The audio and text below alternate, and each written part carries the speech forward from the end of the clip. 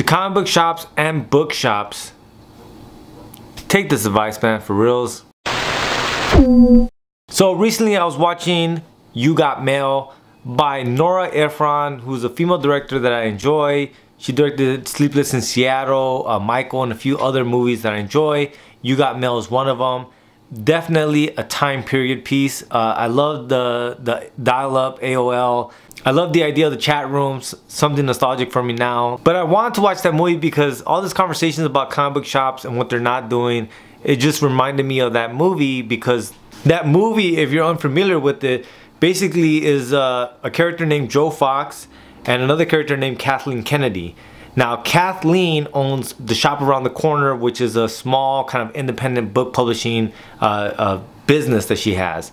And Joe Fox is this big major discount book retailer. So it's almost like a Barnes & Noble versus a small shop bookstore you know skylight books or something like that. Shout outs to the homies. And the movie kind of revolves around this idea that she tries what she can and she puts up a valiant fight but nonetheless loses to the big discount bookstore as a young man i don't think i understood some of the things that i understand now and I, I didn't view that movie in the way that i did this time around right that's why it's always good to rewatch movies later on that movie reminds me of kind of what's happening with the comic book retail shops and also what they're not doing. Like there's a scene where Kathleen is, she's already defeated, right? She's already closing down, liquidating all her shit and getting rid of her shop.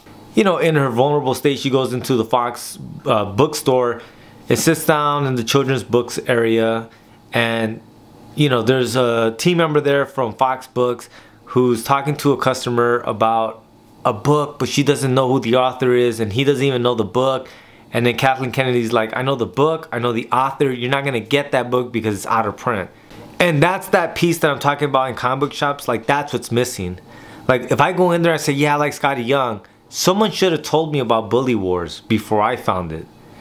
But no one no one seems to know those kind of things. You know what I mean? I, I had to do my own research and look at his website and be like, what the fuck is Bully Wars?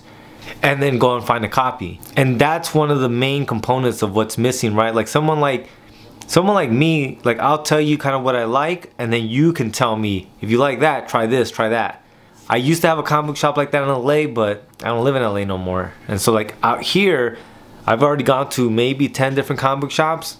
None of them function that way. Out of the six comic book shops that I frequented in LA, only one shop had one clerk that actually read and knew about comic books. The rest of them were trash.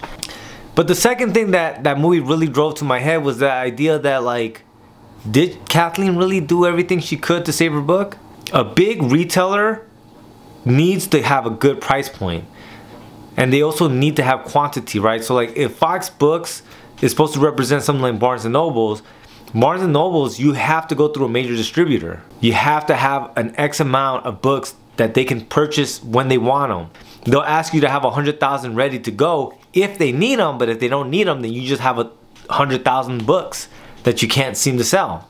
And so she could have easily started going to more independent book publishers who can only mass manufacture maybe a small, you know, 10,000 copies of a book or so on and so forth.